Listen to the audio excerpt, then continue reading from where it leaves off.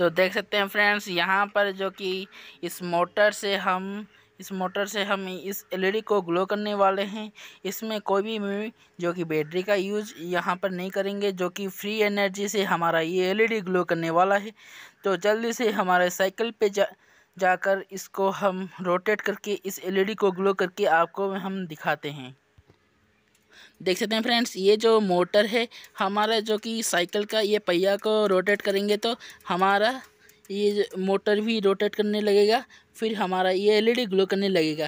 तो देख सकते हैं, यहाँ पर मैं साइकिल की यहाँ पर रोटेट करने वाला हूँ।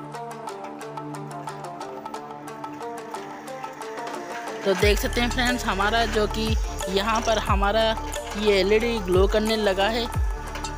ओनली इसमें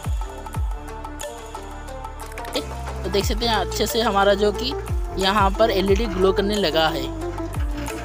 देख सकते हैं ये मोटर से ही हमारा जो कि पावर जा रहा है। अच्छे से हमारा एलईडी भी ग्लो करने लगा है।